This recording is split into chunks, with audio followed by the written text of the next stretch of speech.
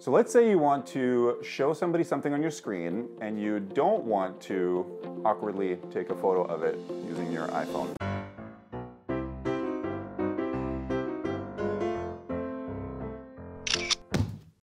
I'm going to show you how to take a screenshot using your Mac so you can leave your phone out of the equation.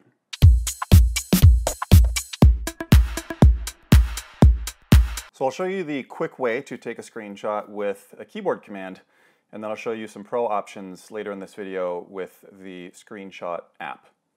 So let's say you get an error message, you're not sure what it means or what to do with it, and you want to show it to somebody. Put your left hand on the keyboard and hold Command Shift and then press 4, and then you can let go of all of those and then the cursor turns into a crosshair, and then you just drag a box, you click and drag from top left down to bottom right, and then let go of the clicker with the mouse, and it takes the screenshot. Uh, it shows up in the bottom right as a thumbnail here, and if you leave it, it will then go onto the desktop, and it'll just be an image, a file sitting on the desktop.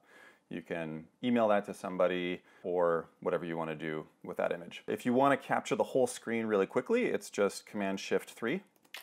That captures the whole screen and you can see if I now click on this thumbnail, it'll show me the screenshot that I just took. And you can say done here. You also get some editing and drawing options that you can do on the screenshot itself.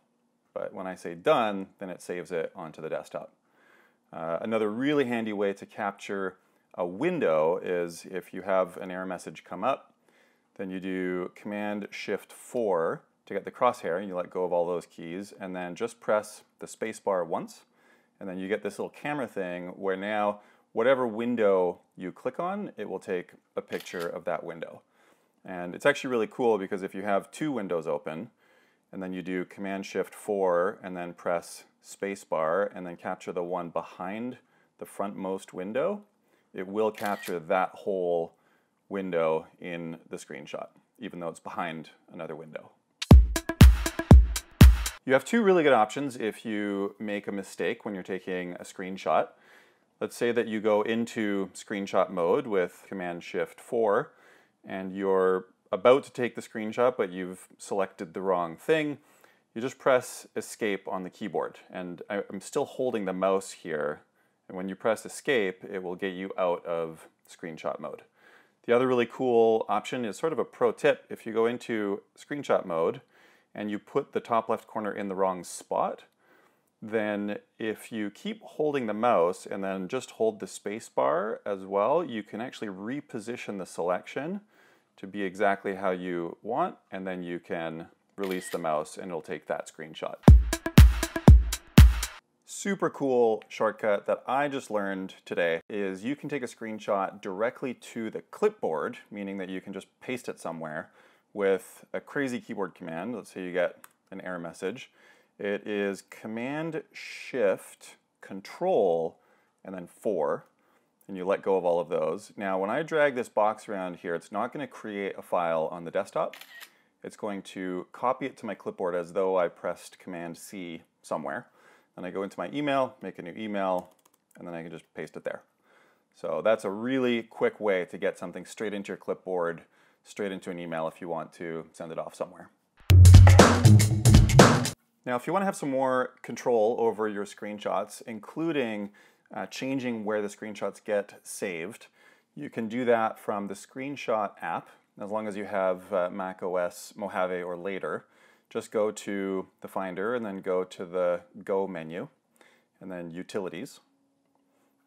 And then the screenshot app is right here. You can open that. The fast way of getting straight to that is Command Shift 5. And it opens this cool little floating toolbar here. And you can choose, do you want to capture the entire screen? Do you want to capture the selected window?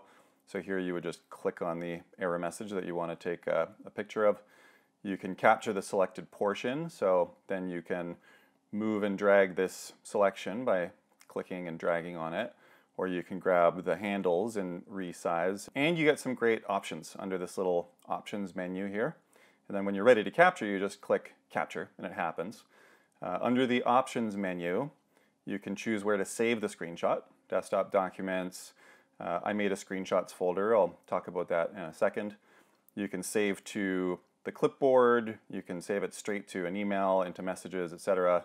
Um, you can set a timer so that it only takes the screenshot after five or 10 seconds.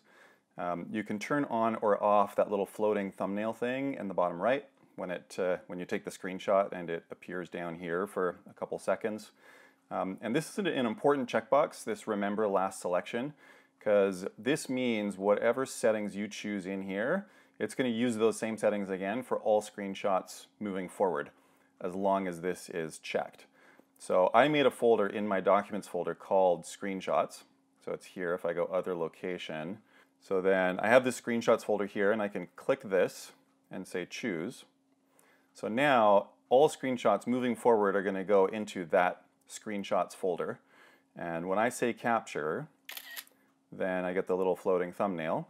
And then if I go into my documents folder and then into screenshots, that image is going to be there.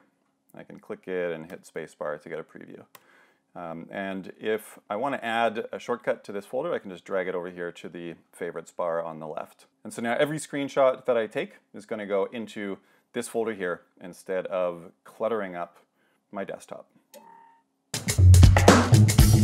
So now as a Screenshot Pro, you can take a screenshot of the error message with Command Shift 4 and then press spacebar and click on that. And then you can click on the thumbnail and you can add a big red arrow and reposition the uh, arrow like this. And you can add some text, so you can click the little T to add some text. And then you can say done to save it into your screenshots folder, or you can hit the little share square here and send it straight to an email. And it attaches it to an email, and you can send this to whoever needs it. Boom, Mac Epiphany. If you want professional one-on-one -on -one help with the tips in this video or with anything else in your Mac lifestyle, head to macinhome.com to schedule a consult. Action! Right? Yeah. We're going now?